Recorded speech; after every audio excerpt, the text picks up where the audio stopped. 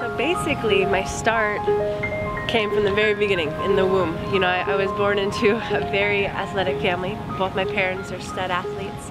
And so when I was born, um, I just was born into this environment that was super physical, that was super competitive, that was all about sports and teamwork and all these things. And so my start happened, happened very early on.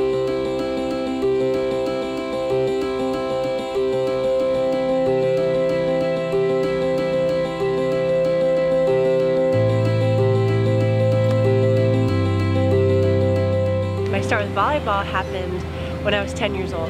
Um, you know, prior to that, I played basketball and baseball, and those were my dreams. I wanted to go as far as I can go. I literally had visions of myself being the first pitcher, female pitcher in the major league. I had an arm, I had a good fastball. That's all I had. I had one pitch. But you know, my dad was a pitcher growing up, or when you know he played in the minor leagues and he played semi-pro basketball as well. And you know, my dad's my idol.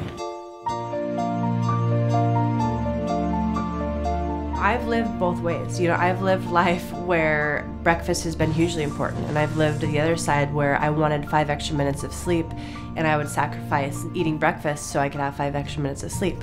And it didn't help me achieve what I wanted to achieve. It didn't unlock my potential. I guarantee you, waking up five minutes earlier, eating breakfast, and feeding your body will do you so much better than those five minutes of sleep. Trying to bring out the best in my kids is a mom's mission, right? It's a parent's mission, and I take it very seriously. You know, I grew up with such amazing parents, and they were great role models for me, and I'm trying to live up to what they did. And so my, my children are, they're my heart and my soul. Hey,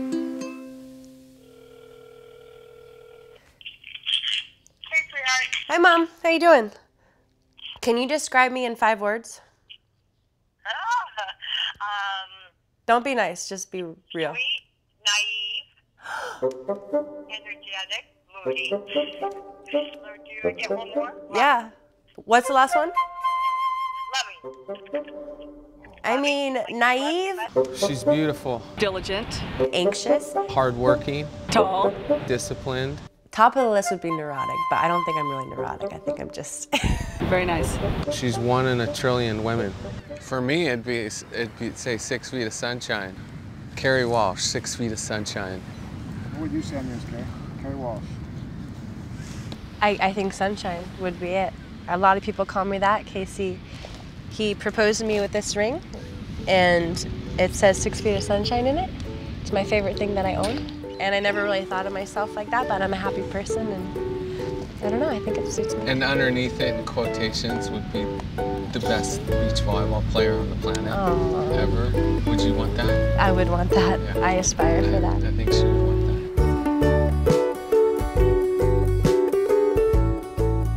if you want to be successful, if you want to reach your full potential, you need to feel your body. And, um, you know, it's, again, it's non negotiable. If you, it's just, it's essential to life.